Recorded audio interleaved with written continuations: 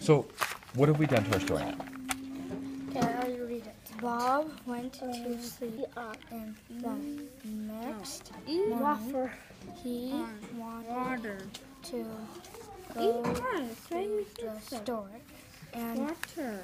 when No, it has a D on it. he when Yeah. Anyways, look out. I like that you're adding in words so it makes more sense. when he came back, he Not too didn't see. See.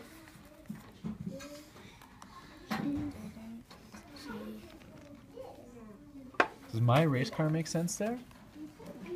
Or is it my or is it whose race car is it? Mine. Is it yours or is it Bob's?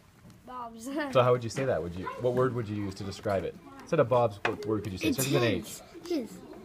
His. H E. What would you put in there? What word? His. Yeah, his. So let's add that in there. You can just cross it out. Just cross it out and write it above it.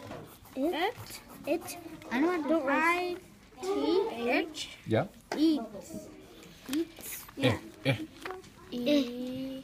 Not E. Eats. Eh, eh. Remember, Inky the mouse. Eh, eh, eh. Yeah.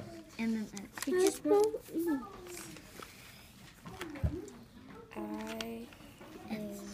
S. S. What's that? Okay. What? His race car. This? Yeah. Oh, it's just So- a little minion thing. He called Is that a Detective Darius, and Darius came? Awesome. over to Maya again, or what, do we, what are we going to say instead of Maya? His Yeah. house. So just cross it out. E? Sporty. E? You can always press this button. Eat. Is that no button? That's no button. You blow. It's a whistle. Uh, Can you whistle? Okay. And that pops To out. his house to help him find the race car.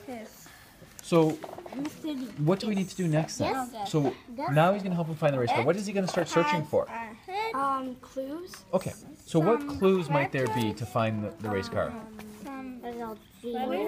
Oil. I like that clue. So what is there going to be? Is there going to be like a trail of oil from the car? Yeah. Okay, so I think that's a great start. So that's where we can start writing about the clue. So he start searching for clues. He find some oil. Okay.